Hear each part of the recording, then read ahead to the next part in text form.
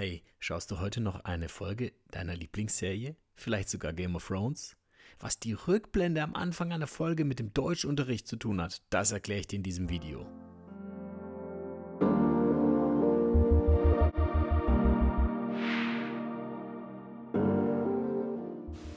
Hey, ich bin Arnold und ich erkläre euch heute,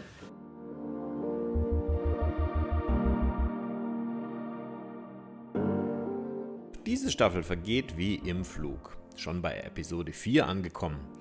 Jetzt habe ich aber ein paar Tage nicht mehr reingeschaut und bin doch recht froh, dass in der Rückblende nochmal die wichtigsten Ereignisse genannt werden, die zur aktuellen Folge geführt haben. Diese Rückblende ist ähnlich wie eine Kontextuierung im Deutschunterricht. Man nennt hier nämlich nicht alle Ereignisse, die zuvor geschehen sind, sondern nur diejenigen, die für das aktuelle Geschehen wissenswert sind. Meistens lautet die Aufgabe bei einer Kontextuierung, einen zum Beispiel in der Klausur vorliegenden Textauszug innerhalb des Gesamtromans, Dramas oder ähnlichem zu kontextuieren. Im Unterschied zur Inhaltsangabe müssen wir hier nicht den ganzen Text oder das ganze Buch zusammenfassen, sondern lediglich einen Auszug im Verhältnis zum Ganzen zeigen.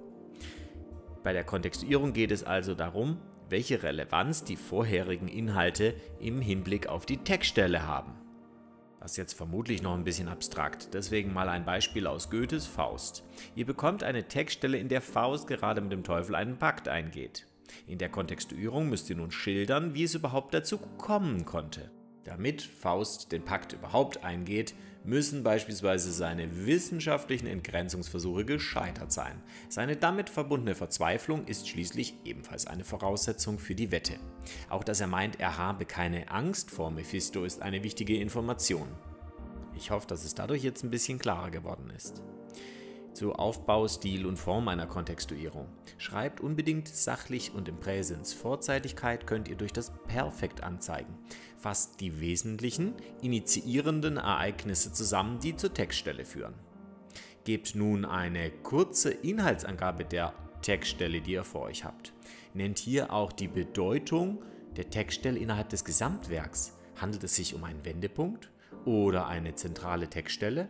Wie? Was? Jetzt doch eine Inhaltsangabe?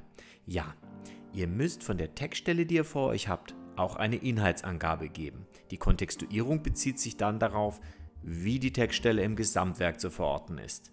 Also, erst kontextuieren, dann die Textstelle zusammenfassen, überlegen, welche Bedeutung hat das Ganze im Gesamtwerk und ein kurzer Ausblick, was wird durch die Textstelle ausgelöst. Also zu was führt beispielsweise der Pakt mit dem Teufel im Folgenden? Dieser Ausblick sollte sich aber unbedingt auf ein bis maximal zwei Sätze beschränken. Das eine ist immer zu verstehen, wie etwas funktioniert. Aber warum muss man das denn machen? Die Kontextuierung ist im schulischen Bereich im Wesentlichen eine Vorbereitung auf die Interpretation. Hier weist ihr als Schüler nach, dass ihr die vorliegende Textstelle auch in einem größeren Zusammenhang verorten könnt und dass ihr Zusammenhänge zwischen Teil und Ganzem erkennt. Das ist eine Denkfähigkeit. Schlussendlich kann man festhalten, dass ihr also den Text im richtigen Kontext, deswegen auch Kontextuierung, festhalten könnt. Hierfür müsst ihr die richtigen Inhalte entnehmen und Teil und Ganzes richtig verknüpfen.